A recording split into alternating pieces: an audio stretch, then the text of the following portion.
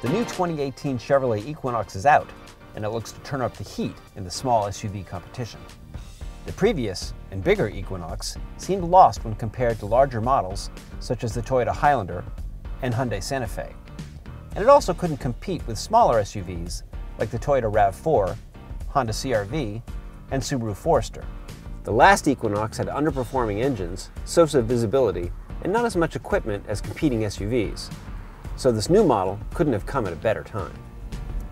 The new Equinox has finally found its identity and goes smaller.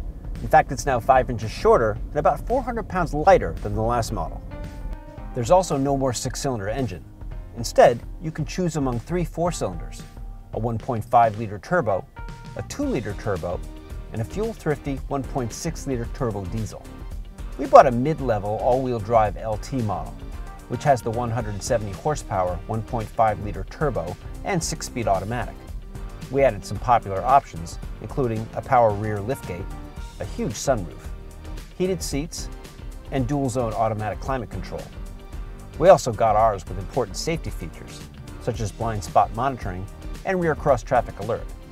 Bottom line, we spent $33,730. Looking at this price compared to a Honda CRV EX, however, we're not sure you're getting as much for your money, so negotiate hard at your Chevy dealer. And we're also a little dismayed that forward collision warning and automatic emergency braking are only available on the top trim Premier. We think these should be standard on every model. Spending some time behind the wheel, the Equinox reminds us of GM's fine mainstream sedans, the Chevrolet Cruze and Malibu.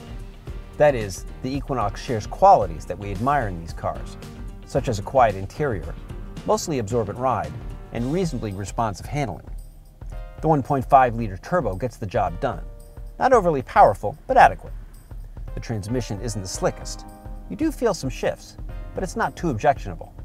A stop-start feature is also fairly unobtrusive. The front seats have 8-way power adjustments, including 2-way power lumbar. They're reasonably comfortable over a long commute. Front visibility isn't bad, but the rear three-quarter view is compromised by thick pillars. A rear view camera is standard. The rear seat is especially roomy and folds flat to offer a large cargo space.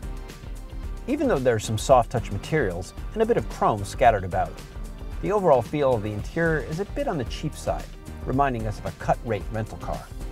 We like this version of GM's MyLink infotainment system. It's easy to use and comes with Apple CarPlay and Android Auto compatibility. There's also a good number of USB ports. Like a prize fighter, whether or not the new Equinox can succeed at a lower weight class is yet to be seen. So far, we're impressed with what we see, especially since it embraces many of the attributes that we really like in a few of GM's better sedans. We'll know more as we accumulate the miles and do our formal testing. For more on SUVs, check out consumerreports.org.